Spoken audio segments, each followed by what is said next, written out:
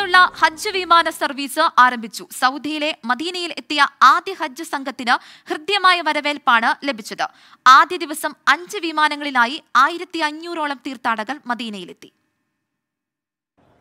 ജയ്പൂരിൽ നിന്നും എയർ ഇന്ത്യയുടെ എ ഐ അമ്പത്തിനാല് അമ്പത്തി ഒന്ന് വിമാനത്തിൽ മദീനയിലെത്തിയ ആദ്യ ഇന്ത്യൻ ഹജ്ജ് സംഘത്തിൽ ഇരുന്നൂറ്റി അമ്പത്തി ആറ് തീർത്ഥാടകരാണ് ഉണ്ടായിരുന്നത് മദീന വിമാനത്താവളത്തിൽ സംഘത്തെ Indian consul general Muhammad Shahid Alam പത്നി doctor Shakeela Shahid Hajj consul Muhammad Abdul Jaleel തുടങ്ങിയവരുടെ നേതൃത്വത്തിൽ സ്വീകരിച്ചു.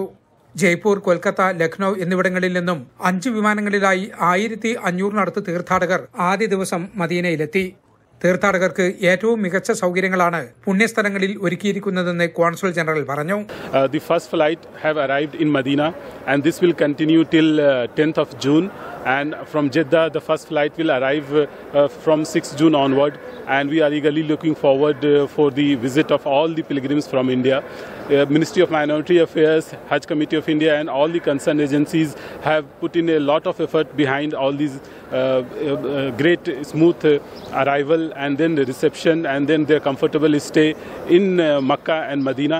തലാൽ ബദറു അലൈന എന്ന ഈരടികളുടെ പശ്ചാത്തലത്തിലാണ് സൗദി ഹജ്ജ് മന്ത്രാലയം പ്രതിനിധികൾ ഹജ്ജ് തീർത്ഥാടകരെ വിമാനത്താവളത്തിൽ വരവേറ്റത്.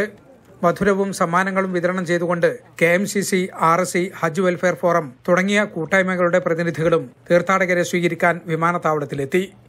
മദീനയിൽ വിമാനമിറങ്ങുന്ന ഇന്ത്യൻ തീർത്ഥാടകർ എട്ട് ദിവസത്തെ മദീന സന്ദർശനം കഴിഞ്ഞ് മക്കയിലേക്ക് പോകും. ഹജ്ജ് കർമ്മങ്ങൾ അവസാനിച്ച് ജിദ്ദയിൽ നിന്നായിരിക്കും ഇവരുടെ മടക്കയാത്ര. കേരളത്തിൽ നിന്നുള്ള ഹജ്ജ് വിമാന സർവീസ് ജൂൺ ആറിന് ആരംഭിക്കും. മദീനയിൽ നിന്നും ജലീൽ കണ്ണമകരം ട്വന്റി